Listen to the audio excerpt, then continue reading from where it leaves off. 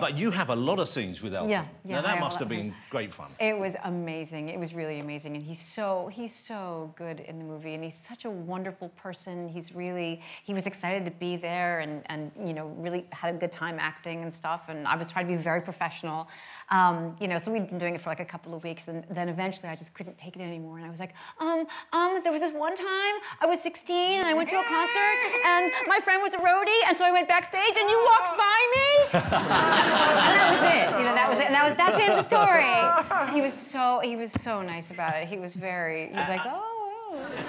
Uh, and he was singing in front of you. You were there, and he was like giving you Yeah, a. we we were yeah he was sitting at a grand piano and we were setting things up and he just sang he sang songs all day long and people couldn't believe it. Wow. Yeah. Now, the, the reason uh, why I'm excited about Elton John in the movie, not just because I'm a fan and he's terrific in the film, but I know that they're planning a um, biographical film on a certain part of uh, Elton John's life.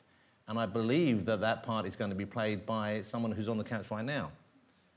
Paul, it's not you, is it? Taron, can we talk about this? The fact that you're, Let's talk about it, yeah. you're going to be playing Elton John. Uh, I am indeed. I'm going to be playing Elton John in the musical.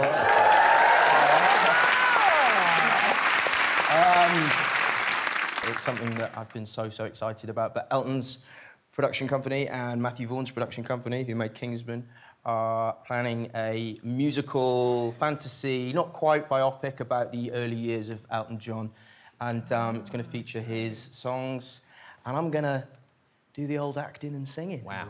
Well, you've got a beautiful voice. I've heard you sing before. You do have a lovely voice. You sang on the you. show here once. You've got a great voice. I did, I did. I tried to steal the limelight from Hugh Jackman uh, and didn't succeed, but there, it was a very valid attempt. Uh, and so this will be the early period. Will this be his flamboyant period as well, when he goes crazy with the stage wear? Or Yes, exactly. And uh, as far as I'm aware, the plan is that it will be the world's first R-rated musical. Wow. As well. Well, that's it's going to be very unabashed in its depiction of him, I think. So it'll be quite full on. Of course, that's Elton, uh, as the, the older folk will remember him. Younger people might not know that he was so flamboyant there. Uh, we have some. Uh, you, when you came on, you were talking about Eddie Eagle last time, yes. and I got you to put on the Eddie Eagle glasses Yes. to see whether or not you looked, and it was very uh, accurate I think I know what's coming. Yeah, because Yeah. you do, I would love to see. This would be a first look. Yeah. But I have glasses for everyone, so if you want to help yourself, you can help yourself to a pair there. Okay. Okay, you first.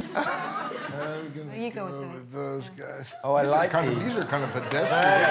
Wow, that's pretty good. Oh, they're very Elton too.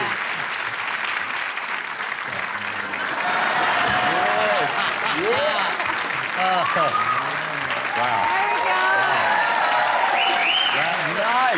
Nice. And Jonathan, for you, a There you special go. pair. I've got, Look. I've got the ones Elton wears when he's just reading. They're